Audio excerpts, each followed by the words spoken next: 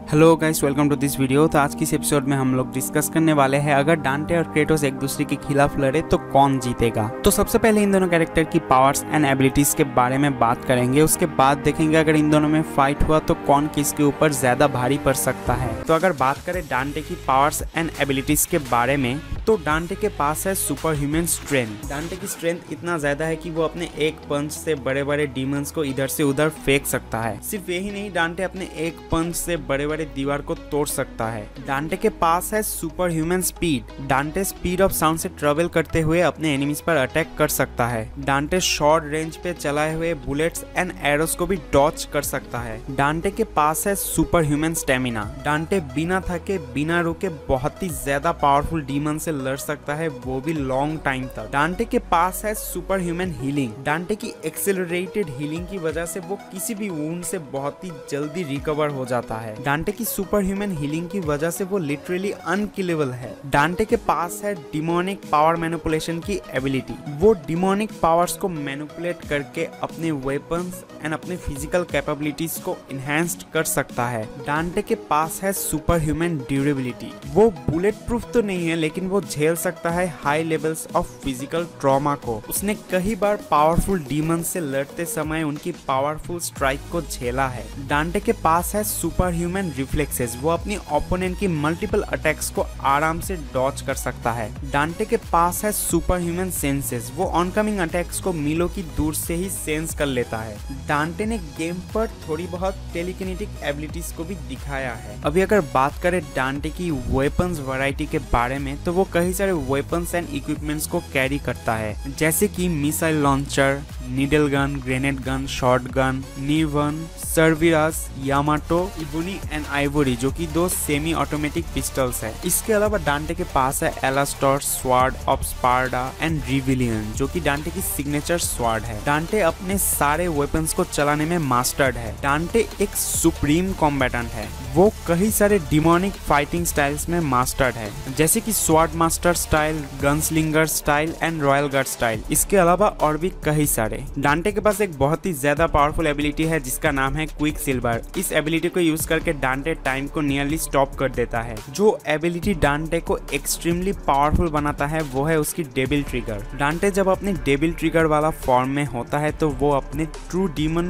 Power को access कर पाता है। उसकी स्ट्रेंथ स्पीड स्टेमिना बहुत ही ज़्यादा इंक्रीज हो जाता है। सिर्फ़ यही नहीं, उसकी सारे के सारे पावर्स एंड एबिलिटीज बहुत ही ज़्यादा इनहेंस्ड हो जाता है। अगर हम बात करें डांटे की सीन डेबिल ट्रिगर वाले फॉर्म के बारे में तो वो डांटे की आदर डेबिल ट्रिगर वाले फॉर्म से भी एक्सट्रीमली पावरफुल है। डांटे की डेबिल ट्रिगर वाले फॉर्म से इतना ज़्यादा पावरफुल है तो आप जरा सोचिए कि डांटे की सीन डेबिल ट्रिगर वाला फॉर्म कितना ज़्यादा पावरफुल होगा। तो अगर बात करें क्रेटोस की पावर्स एंड एबिलिटीज के बारे में तो क्रेटोस एक डेमीगॉड है और जूस का बेटा है। क्रेटोस की बर्थ स्पार्टा में हुआ था और क्रेटोस एक स्पार्टन वॉरियर भी है। एडिस को मार के उसे गॉड ऑफ़ वॉर का टाइटल मिला था। अगर बात करें क्रेटोस की पावर्स की तो क्रेटोस ने पूरा ग्रीक गॉड्स को जान से ही मार दिया था including Zeus Hercules Poseidon Hermes और भी कई सारे गॉड्स को। क्रेटोस इन सब गॉड्स को मार के उनकी पावर्स को ऑब्ज़र्व कर रहा था। इसकी वजह से क्रेटोस बहुत ही ज़्यादा पावरफुल भी हो जाता है। न्यू गेम पर हमने देखा कि क्रेटोस एसगर्ड पहुँच गया है और वो यहाँ के भी गॉड्स को मारने लगा। क्रेटोस के पास है super human strength agility endurance super human healing Kratos एक नियर इमोर्टल बींग है, वो दो बार हेल से वापस भी आ चुका है। क्रेटोस एक बहुत ही ज़्यादा इंटेलिजेंट बींग भी है। क्रेटोस के पास डिफरेंट टाइप्स ऑफ़ वेपन्स है, जैसे कि blade of chaos blade of Athena Leviathan axe और भी बहुत सारे। लेकिन सबसे पावरफुल वेपन है ब्लेड ऑफ़ ओलिम्पस और इसकी मदद से क्रेटोस ने जूस को मारा था। क्रेटोस के वेपन्स क्रेटोस को मैजिकल पावर्स भी प्रोवाइड करता है, लेकिन वो डॉक्टर स्ट्रेंज या फिर डॉक्टर फेट जैसे बड़े बड़े मिस्टिकल आर्ट्स को परफॉर्म नहीं कर सकता। क्रेटोस के पास है अम्यूलेट ऑफ़ यूरोबोरास इस वेपन को यूज़ करके क्रेटोस अलग अलग तरीके से टाइम को मैनिपुलेट कर सकता है। आइकेरस की पंख को यूज़ करके क्रेटोस उड़ भी सकता है। क्रेटोस गोल्डन फ्लेस को यूज़ करके एक हद तक एनर्जी को ऑब्ज़र्व करके उसे प्रोजेक्शन भी कर सकता है। वो इस वेपन को यूज़ करके अटैक्स को भी डिफ्लेक्ट कर सकता है। क्रेटोस के पास है क्लॉस ऑफ़ हेड्स जो कि क्रेटोस को प्रोवाइड करता है सोल मैनिपुलेशन की पावर आइस ऑफ़ ट्रूथ जो कि क्रेटोस को प्रोवाइड करता है मैजिकल रिविलेशन की पावर यानी कि आइस ऑफ़ ट्रूथ के ज़रिए क्रेटोस डिस्पेल कर सकता है illusion magical barriers and dark magic को। लेकिन एक हद तक क्रेटोस के पास जियो की भी एबिलिटी है। वो अटलास को यूज़ करके काफ़ी ज़्यादा पावरफुल भूकंप को भी ला सकता है। क्रेटोस के पास है हेड ऑफ़ मेड्यूसा जिससे वो अपने एनिमीज को स्टोन में बदल सकता है। क्रेटोस के पास है ब्लेड ऑफ़ ओलम्पस जिससे वो डिवाइन एनर्जी मैनिपुलेट करके पावरफुल ब्लास्ट भी कर सकता है। इसके अलावा ब्लेड ऑफ़ ओलम्पस से क्रेटोस बड़े बड़े टॉर्नेडो को भी क्रिएट कर सकता है। क्रेटोस के ऊपर फायर और कोल्ड टेम्परेचर का बिल्कुल भी असर नहीं पड़ता। क्रेटोस के पास एक और पावरफुल एबिलिटी है, वो है Spartan rage Spartan rage Kratos को बहुत ही ज़्यादा पावरफुल बना देता है। क्रेटोस की जो सबसे बड़ी ताकत है, वो है उसका इनडोमिटेबल विल एनिमी जितना भी स्ट्रॉन्ग हो क्रेटोस कभी हार नहीं मानता। और किसी न किसी तरीके से क्रेटोस अपनी एनिमी को डिफीट कर ही देता है। तो ये तो था इन दोनों कैरेक्टर की पावर्स एंड एबिलिटीज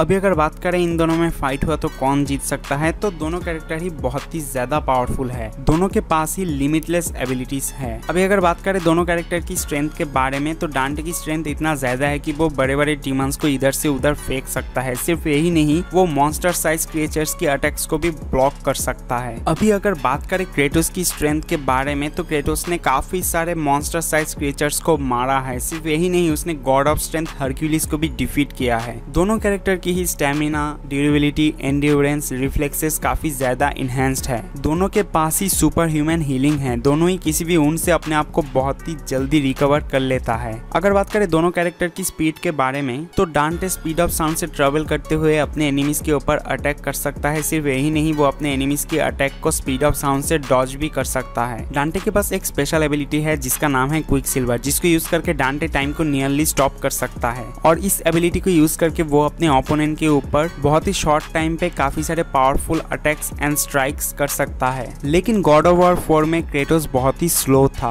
और यहाँ पर अगर हम क्रेटोस की वेपन्स एंड इक्विपमेंट्स को देखें तो उसके पास है बूट ऑफ़ हर्मिस जिससे वो स्पीड ऑफ़ लाइट से ट्रेवल कर सकता है। इसके अलावा उसके पास है अम्यूलेट ऑफ़ इरोबोरास जिससे वो टाइम को मैनुपुलेट कर सकता है, यानी टाइम को स्लो करना या फिर रिवर्स करना। अगर बात करें दोनों कैरेक्टर की वेपन्स के बारे में तो दोनों कैरेक्टर ही काफ़ी सारे पावरफुल वेपन्स एंड इक्विपमेंट्स को कैरी करता है। क्रेटोस इतना ज़्यादा ड्यूरेबल है कि डांटे की ज़्यादातर वेपन्स जैसे कि guns short guns missile launcher या फिर एक्सप्लोजन टाइप वेपन्स क्रेटोस को हार्म नहीं कर सकता। क्रेटोस को हार्म करने के लिए डांटे को अपनी डिमोनिक टाइप वेपन्स यूज़ करना पड़ेगा, जैसे कि रिविलियन या फिर स्वाड ऑफ़ स्पार्डा क्रेटोस की वेपन्स के बारे में मैं क्या ही बताऊँ? सारे की सारे वेपन्स मैजिकल एंड काफ़ी ज़्यादा पावरफुल है। डांटे के साथ लड़ने के लिए क्रेटोस को बूट ऑफ़ हर्मीज को यूज़ करना पड़ेगा क्योंकि डांटे बहुत ही ज़्यादा फास्ट है। ऐसा नहीं बूट ऑफ़ हर्मीज के अलावा वो डांटे के साथ लड़ नहीं पाएगा, लेकिन उसे बहुत ही ज़्यादा दिक्कत होगा। तो दोनों कैरेक्टर की पावर्स एंड एबिलिटीज को एनालिसिस करने के बाद मुझे ये लगता है कि क्रेटोस से लड़ने के लिए डांटे को अपने डेविल ट्रिगर यूज़ करना पड़ेगा, वरना क्रेटोस डांटे के ऊपर भारी पड़ेगा। अगर बात करें क्रेटोस की स्पार्टन रेज के बारे में तो स्पार्टन रेज क्रेटोस को बहुत ही ज़्यादा पावरफुल बना देता है। स्पार्टन रेज को यूज़ करके क्रेटोस डांटे की कई सारे डेविल ट्रिगर वाले फॉर्म्स को हरा सकता है। अगर यहाँ पर बात करें डांटे की सीन डेविल ट्रिगर के बारे में तो डांटे की सीन डेविल ट्रिगर डांटे की अदर डेविल ट्रिगर वाले फॉर्म से कहीं ज़्यादा